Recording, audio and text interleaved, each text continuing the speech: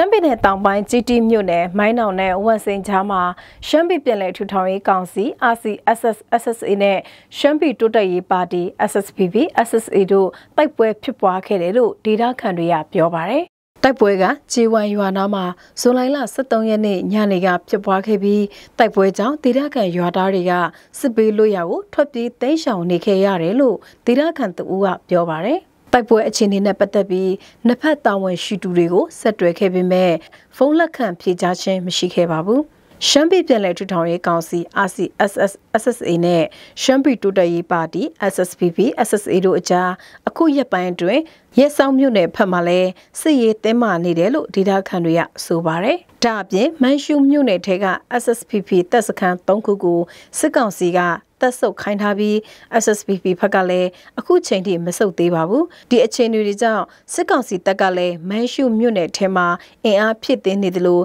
SSPP တပ်ဖွဲ့ကလည်းစစ်ရေးပြင်ဆင်မှုတွေရှိထားတဲ့အတွက်နှစ်ဖက်ကြားစစ်ရေးတင်းမာနေတယ်လို့လည်းသိရပါတယ်